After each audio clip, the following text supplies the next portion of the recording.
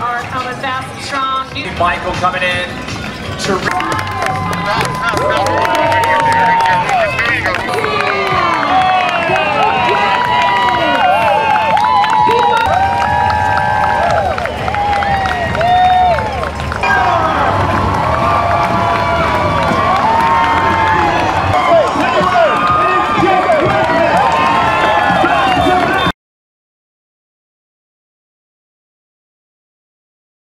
My coach said to me before, you know, quite a lot often people surged at the 800 metre point, and we thought we can do a, a, double surge and keep going, you know, pick it up actually after the point, um, and then just try and get that gap and maintain it. Um, so that was the plan, and yeah, luckily it worked. It's hard. Yeah, I kind of got to like 400 to go, and I was like, oh, I don't know about this. I don't know if I've got too hard too soon. So that last 100 metres was, was, was hard, but you know, this is my last race of the season, so got, all you got to do is run, you know, 200, 100 metres just to get to that line. So that definitely helps knowing that I can just leave it all out there. And uh, yeah, it hurt, but I'm, I'm, so pleased, you know, with the win um, and then with the time as well. I'm just really, happy with it.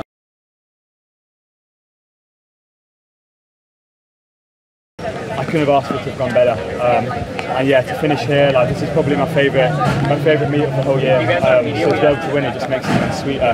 And uh, the chance now to celebrate and reflect on how, how good it's been for me in New York with my friends is uh, what I'm now looking forward to after I get dry.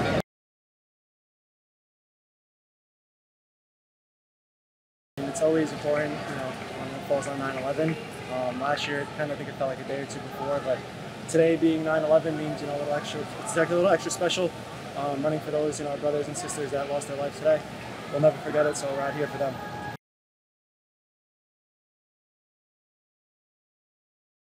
So excited to be out here, the New Balance Fifth Avenue Mile, 41 years strong here. Um, so we're having heats of all ages and abilities. We have youth heats that are going on right now. We have professional athletes and top athletes in the world.